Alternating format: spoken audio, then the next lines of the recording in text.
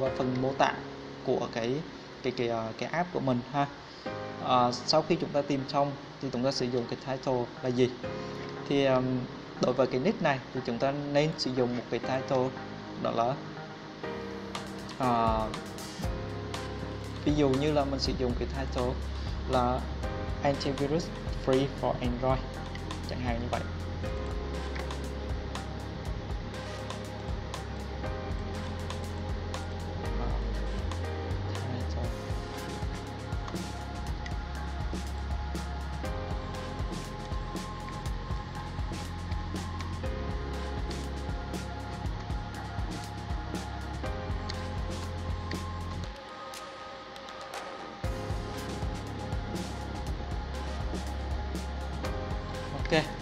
Ờ, à, và cái phần um, lưu ý gọi là cái phần uh, short description thì um, nó nhiều hơn để diễn tả vào một cái app của mình.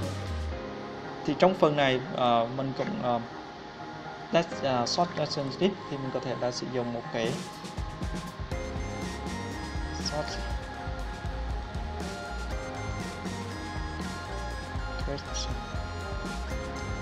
Ok và trong phần này chúng ta sử dụng luôn cái từ um, title này chúng ta sẽ copy qua.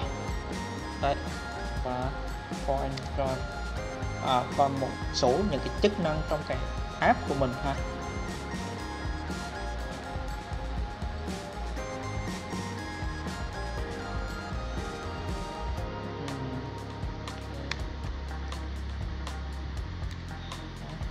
Chúng ta sử dụng cái à, cái từ này ha.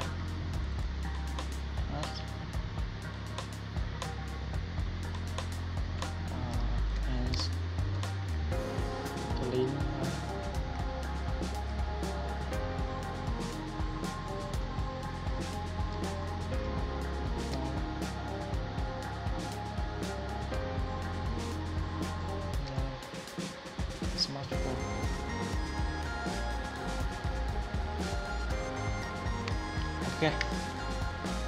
Đây, đây là theo cái quan điểm về ờ, cái cách đặt ờ, title và short description của mình. Thì ờ, sau khi chúng ta có cái title và short description thì chúng ta sẽ soạn ra với cái nội dung full description để chứa tất cả những cái keyword này cho um, để làm gì? Để uh, chúng ta sẽ tối ưu hóa được cái optimize ad trên store uh, tối ưu được những cái keyword uh, ờ, trên cái description uh, ờ, khi tất cả những cái uh, khi tất cả những cái, cái, cái khách hàng những user um, search những cái từ đó thì nó sẽ hiện thì lên ưu tiên những cái app của mình với cái cách tối ưu đó. Ha.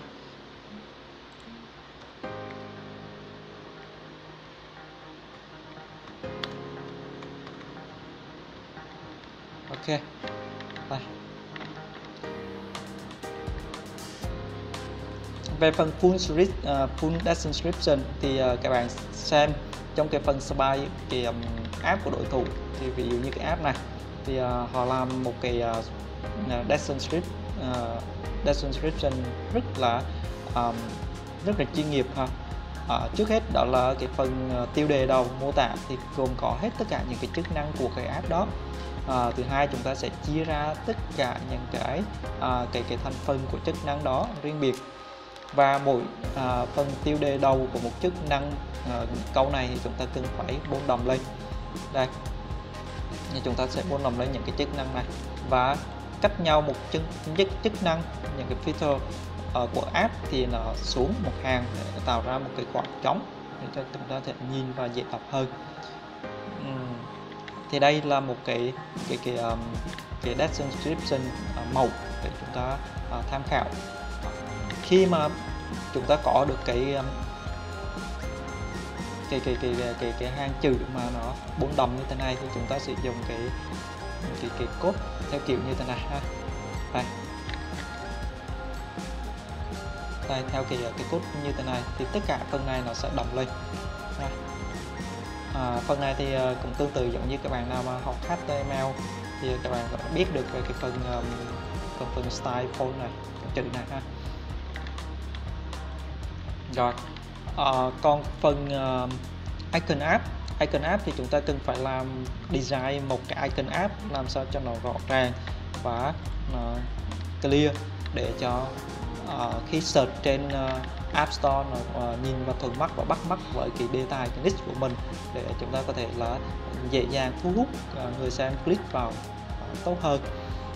Càng đơn giản càng tốt ha. Uh, những cái app càng đơn giản càng tốt. Đấy. Ok về cái phần uh, screenshot thì phần screenshot thì cũng uh, như vậy chúng ta cần phải mô tả cái insight của cái app của mình như thế nào. Thì uh, trong cái phần này thì à, đối với cái app mình à, uh, Spy thì có rất um, tối tối đa là 8 cái uh, chúng ta có thể up lên xuyên screenshot gồm có maximum là 8 cái thì chúng ta từng dùng là cả 8 luôn. Để mô tả hết tất cả những chức năng của app ha thì những chức năng thì chúng ta làm cái um, hiệu ứng đồ họa graphics và làm sao cho nó bắt mắt và thu hút của những cái chức năng uh, những cái chức năng trong uh, cái app của mình ha và chúng ta up lên rồi ok. À, đến cái phần uh, video promotion. Thì phần này là phần uh, đầu tư thêm để tạo ra một sự chuyên nghiệp của một cái ứng dụng một cái sản phẩm của mình. Thì uh, trong phần này thì đối với tất cả những cái um, uh, đối với những cái, uh, cái tất cả những cái, cái, cái ứng dụng ở trên uh, Okay, đây là một cái video promotion của một cái cái cái, cái app một cái ứng dụng để tạo ra một sự chuyên nghiệp và quảng cáo trên ờ, tất cả những nền tảng YouTube và tất cả những mạng social media những mạng xã hội ha thì các bạn ờ, nếu có thời gian và có cái ờ, chút đầu tư thì các bạn nên đầu tư những cái video những cái video promotion để tạo ra một sự chuyên nghiệp và tăng lượng rank cho app của mình ok um, phần uh, video này thì mình chia sẻ đến đây đã hết. Xin cảm ơn ờ, các bạn đã theo dõi.